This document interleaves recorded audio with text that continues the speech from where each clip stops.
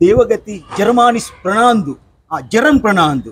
බුදුදහමට අපාස කිරීමේ සිද්ධිය ගැන මේ අරුණ පුවත්පතේ තියෙන ඕමල්පේ නායක ස්වාමීන් වහන්සේ සමාව දෙන්න කැමති වුණා. ඕමල්පේ ඒ කියන්නේ මේක දෙයියොත් එක බේරගන්න ඕන වැඩක් නෑ ඕමල්පේ හාමුදුරුවනේ. ඕමල්පේ හාමුදුරුවෝ මොකටද සමාව දෙන්නේ? මේක දෙයියෝ එයාගේ මෝ කුල් පනන තියය. හොඳ කරා නම් මේ ජර්මානිස් මේ ජරම්. මගෙත් මේ කකුල අමාරුවක් තියෙනවා. මම ජරම් හම්බ වෙන්න හිටියේ. පාස්ටර් ඒක කරගන්නත් බැරුව නම මේ වැඩේ. මේ හදයන්නේ මේ? අර සංගක්කාරට? සංගක්කාරට ක්‍රිකට් ගහන්න ඔක්කොම ලංකාවට මැච් දිනවල දීපු එක. මේ කවුද? ජෙරම්. තියකෝ ඔච්චර දෙ- හාස්කම් බලයක් තියෙන ජෙරම්ට. මොකටද මේ ඕමල්පේ හමුදුරු හම්බෙන්නේ නැහැ නායක හමුදුරු හම්බෙන්නේ නැහැ ඕන්නේ නැහැ. කෙලින්ම මේක පැනලා ගියා.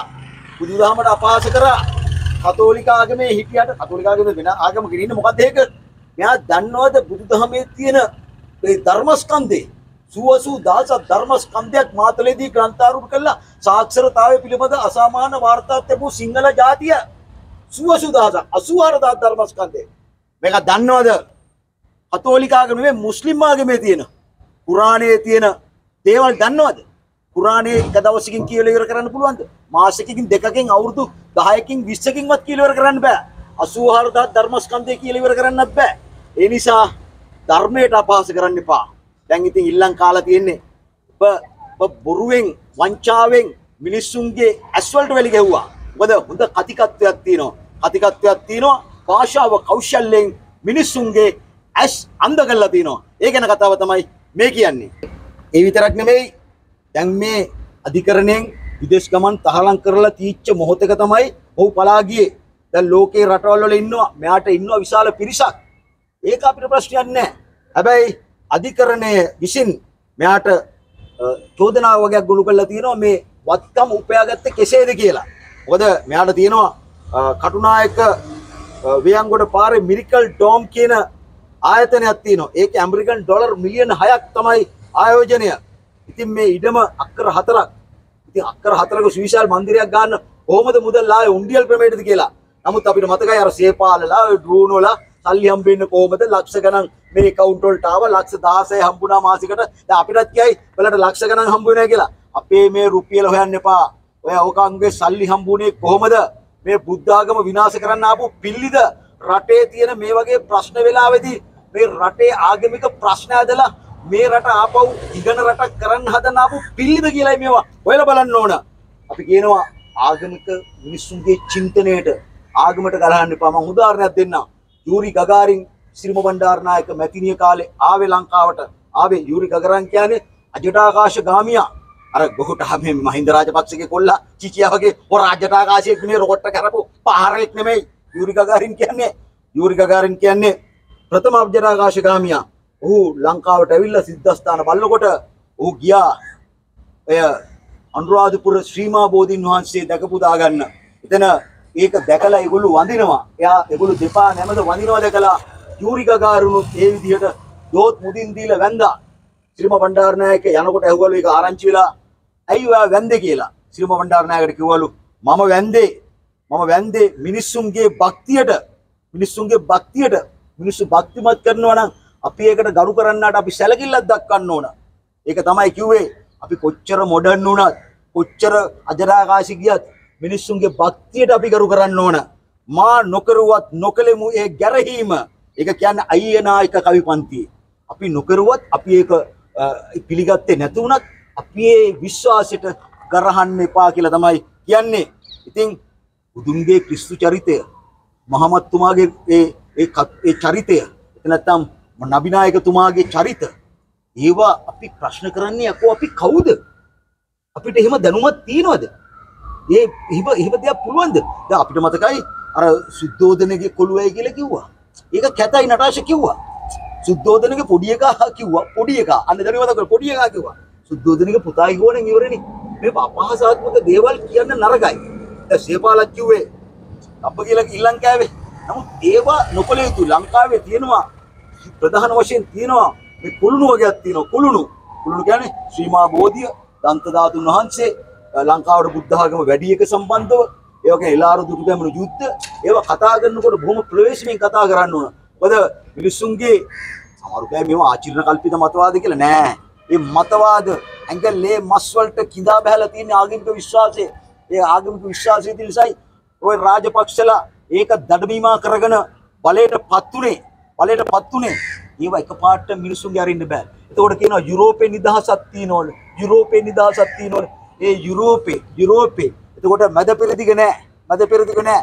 දේශي හැටියටයි වාසි කියලා තියෙනවා. දේශي හැටියටයි වාසි කියලා තියෙනවා. ඒ නිසායි අපි කියන්නේ මිනිස්සුන්ගේ ආගම කියන්නේ අති පෞද්ගලික දෙයක්.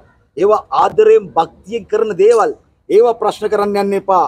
මිනිස්සුන්ට දැන් ඔයාගේ ඔයා ගිහිල්ලා දැන් ජෙරම් ගිහිල්ලා මිනිස්සුත් එක්ක කතා කරලා දීලා ටෙලිෆෝන් වල රීලෝඩ් දානවා නොයෙකුත් විකාර දේවල් කරනවා මැජික් ස්වරූපේ තියෙන වගේ මැජික් ස්වරූපේ උපයෝගී කරගෙන ඔයා මේ CID එකට දෙන්න. දැන් අපි කියනවා අනිත් එක තමයි දැන් දීර්ඝ කාලෙක දැන් බ්‍රහ්මපාල සූත්‍රයේ දැන් බ්‍රහ්මපාල සූත්‍රයේ බුදුරජාණන් වහන්සේගේ දීඝනිකායේ බුදුරජාණන් වහන්සේට ප්‍රශ්නයක් මතු වුණා. ප්‍රශ්නයක් මතු වුණා බුදුම විවේචනය කරා සහ මහා සංඝයා වහන්සේලා සහ ආගම විවේචනය කළා. බුදුරජාණන් වහන්සේ ඒකට කිව්වේ අපි මේකට වෛර නොකර යුතුයි කියලා. වෛර නොකර යුතුයි. මේක ඒ ගැන කමක් නැහැ කියලා බුදුරජාණන් වහන්සේ කිව්වා. නමුත් ඒ කාලේ ඒක අරගෙන ඒ උදාහරණ මෙහෙට ගැලපෙන්නේ නැහැ. දැන් ඒක බුදුහාමුදුරන් වහන්සේ කිව්වා වෛරෙන් වෛරෙන් නොසන්සිතේ. ඒ ගැන බුදුහාමුදුරන්ට මට ගැව්වට ප්‍රශ්නයක් නැහැ. ඒක හරියන්නේ නැහැ. ජරමුන් නැහැ. ජරමුන් නැහැ. මොකද අපි මේ මේ අපි අමාරුවේ වැටිච්ච රටක් දැන් අවුරුදු ගාණක් දුක් විඳ රටක් මේ ඇවිල්ලා කරන්නේ ගේම් එකක්. දැන් බලන්නකෝ සංගක්කාරටම ඇවිල්ලා තියෙන සංගක්කාරට දැන් අපි හිතමු දැන් මිනිස්සුන්ගේ ඇස් වලට වැලි ගහලා මුකුරු ක්‍රිකට් ටීම් එකේ අතිබහුතරයක් දෙන ඒකට ගින ගියානේ. දැන් ඕක වැඩි දියුණු වුණා නම් දැන් මේක නොකර හිටියනම් මේ ආකාශ ටීම් එකට මොන මොන විකාර කරයිද? එහෙනම් දැන් ඉදිරි අනාගතයේදී මූ දේශපාලන විශ්ලේෂකෙක් වෙලා දිනන ආණ්ඩුව කියයි. ඌ ඉන්නේ කොයි පැත්තද කියලා දන්නවනේ මේක. දැන් ඔයගොල්ලන්ට මතකනේ මේ ළඟදී ගෙනල්ලා මේ ගිරවෙක් ගෙනල්ලා ඔය මාධ්‍යෙන්නේ ඔක්කොම කරන්නේ ගිරවෙක් ගෙනල්ලා ඒ ගිරවට කියලා කියවුවා අර වාට් කුට්ටමේ කොළ තියෙනවා ඒක පෙල්ලන්න කියලා. ගිරවකින් ඇහුවා මේ සැරේ දිනන්නේ ලංකාවද ඉන්දියාවද කියලා. ගිරවටක් ගාලා ලංකාව පෙන්නුවා. එතකොට ඉන්දියාව දින්නා. එතනින් ඉවරයි ගිරවා. දැන් ඒ වගේ නයිදාපු මාධ්‍යයන් තියෙන්නේ. ඉතින් මේ මාධ්‍යට කරන්න පුළුවන් මාධ්‍යට ඕන දෙයක් කරන්න පුළුවන්. ඒ මගේ මාධ්‍ය නිසා වගේම තමයි මේ මේ චරිතේ. මේ චරිතය ඔහොමම ලංකාවට දිනෙව්ව මැච් ගැව්ව ඔක්කොම කළා. දැන් සමහරු කියයි අර කතාවක් තියෙනවා ළමෙක් හම්බ වෙන්නේ නැති කෙනෙකුට එකපාරට දරුවෙක් හම්බ වුණා. ඒ දරුවව අරගෙන දැන් අර අම්මා අම්මා හරි ආගමික විශ්වාසය උනන්දුව තියෙන කෙනෙක්. අම්මා දරුවව අරගෙන යනවා මේ දෙයියෝ දූපු දරුවා මෙන්න දෙයියෝ දීපු දරුවා මෙන්න කියලා. තාත්තා පිටිපස්සේ තරම උසලා කියනවා. මෙන්න දෙයියෝ දීපු දරුවා මෙන්න කියලා තාත්තා මේ පෙන්නනවා. යට පූරිස්කාය පෙන්නනවා. දෙයියෝ දීපු දරුවා මෙන්න. අර දෙයියෝ දුන්න දරුවා මෙන්න. ඒ වගේ ඇත්තටම මේ දේව විශ්වාස වලට අපි මෙයා කරන්නේ නැහැ. මොකද 33 කෝටියක් දෙවි දෙවිතා ඉන්නවා. අපිව ප්‍රශ්න කරන්නේ නැහැ. මිනිසුන්ගේ ආචරණ කල්පිත මතවාදත් එක්ක අපි ඒවා අනාගතයේ මොඩර්න් කියලා අපිව ප්‍රශ්න කරන්නේ නැහැ. නමුත් දැන් ජෙරම්ට තියෙනවා වගකීමක් සහ වගකීමක් තියෙනවා. දැන් එයා හදන්නේ දැන් එක එක ස්වාමීන් වහන්සේලාට එන්න කියලා අර ජනතාවගේ මතය මූදු වෙන්න ඉඩ සලස්වනවා. මතයට කියන කවුරුත් විරුද්ධ වෙන්නේ නැහැ. ඒ නිසා එක දවසෙන් ඇවිල්ලා අපදීලා අර මේ මේ තාලුකල කලේ ගේම් එක තාලුකල වත්තරංගුවට ගන්න කිව්වම තාපුකල වත්තරංගුවට ගන්න කිව්වම තාපුකල තක්කාලා නීතිඥයෙක් එක්ක ගිහිල්ලා පොලිසියට බාරනවා ඒ දවසෙන් අප ගත්තා. අන්න ඒ වගේ නාටකමක් නටන්න තමයි මේ ලෑස්ති වෙන්නේ. කමන්නේ ඒක ප්‍රශ්නයක් නැහැ. නමුත් මේක ඔයා ලංකාවේ විසඳ ගන්න ඕන. ඔයා අධිකරණයට මෝසමක් දාලා පොලිසියට මෝසමක් දාලා ඔයා ඉදිරිපත් විය යුතුයි දෙයියනේ. ආ දෙයියනේ. දෙය ඔයාලට කියන දෙයියනේ තමයි දෙයියනේ. හරිද? ඉතින් ඔයා ඉදිරිපත් වෙන්න. ඔයා ඉදිරිපත් වෙලා විනිශ්චයකාරතුමාට දැන් ඔයාට භාෂාව සහ කෞශල්‍ය හොඳට පුළුවන්නේ. ඔයා ඒත්තු ගන්නන්න ඒ පිළිබඳව. ඔයාට නීතිඥයෝ නෙත් නෑ. ඔයාට දැනුම තියෙනවනේ. ප්‍රසහස්ත දැනුම තියෙනවනේ ඔයාට. නේද? ඉතින් අපි නීති කියන්නේත් ඉතින් මොකද්ද මේ? නීති කියන්නේ ඒත්තු ගැනීම මත පදනම් වූ සත්‍යයක්. benefit of the doubt should be given to the accused. සැකේ වාසිය විත්තියට තියන්න ඕන. ඉතින් ඒ වගේ දෙයක් තුලින් ඔයාට පුළුවන් නිදහස් වෙන්න. හැබැයි වෙන කෙටි කාලීන උත්තර කෙල ගේම් ගහන්න එපා. මේක ගහන්න හදන්නේ ගේමක් දෝ කියලා මට හිතෙනවා. සියලුම ස්වාමින් වහන්සේලාට කියනවා ලොකු ලොකු ස්වාමින් වහන්සේලාට කියනවා අනේ මේක සමා වෙන්න කියන්න. අපේ පුතා කරපු වරද්දට කෝටියක් වාරයක් සමා වෙන්න. ඉතින් අරගොල්ලොත් කියනවා සමාව දෙන්න, සමාව දෙන්න, සමාව දෙන්න, සමාව දෙන්න කිව්වම දැන් එතකොට අධිකරණයට මං කියන්නේ ඔයගොල්ලෝ ඒක හොඳ ගේම් එකක් හොඳ. අධිකරණයට ගිහිල්ලා ගියත හැකි විනිශ්චයකාරතුමාට ඒත්තු ගන්න හැකි. මෙන්න බලන්න අපේ තියෙන සුපේක්ෂල ශික්ෂාකාමී මහා සංඝරත්නය වහන්සේලා අපිට කියනවා මේකට සමාව දෙන්න පුළුවන් වරදක් කියලා. හැබැයි එතකොට බ්‍රූනෝලා, නටාෂලා, සේපාලලා හිරබත් කෑවා. ඒගොල්ලෝ දුප්පත් නිසා, ඒගොල්ලන්ට ලොකු වියදමක් කරන්න බැරි නිසා රට වලින් හැදුවා රටවශන.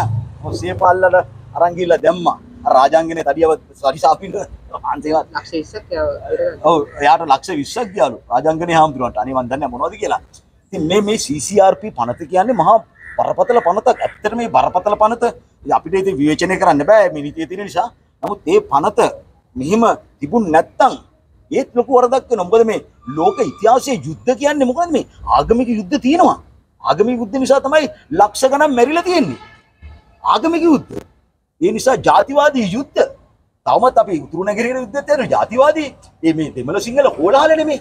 මේ ආගමික නිකායවල වල ලංකාවට ඇවිල්ලා බුදුදහම ආවෙත් තියෙනකොට ක්‍රිස්තියානි ආගම ආවෙත් කොහොමද ආවේ? ඒගොල්ලෝ කොහොමද ක්‍රිස්තියානි උනේ? ඒව කතා කරන්න නරකයි ඉතින්. ඒව කතා කරන්න ගියොත් අපේ මේ නල්ගම් රංජිත් කාර්යවලතුමාගේ සියත් බෞද්ධ මං ඒව කියන්න බෑ. ඒකෝත් මෝ කතෝලිකුනේ කොහොමද කියලා අහන්න එපා මගේ. ඒක මගේ ප්‍රයිවට් එකේ ප්‍රයිවට් එකේ හම්බ වෙච්ච වෙලාවක අහන්නකො ඉතිහාසෙ කොහොමද කියලා උනේ. එතකොට මං කියන්නම් අවසාන වශයෙන් කියනවා කාටද? ජරම්ට ජරම්ට වහාම ලංකාවට ඇවිල්ලා මෝසමත් දාලා ඉදිරිපත් වෙලා ප්‍රශ්න විසඳ ගනින් කෙටි කාලේ ඉන්න ගේම් ගහලා මේ ප්‍රශ්නේ යට ඇරලා ළඟ උත්තර හොයන්න එපා කියනවා.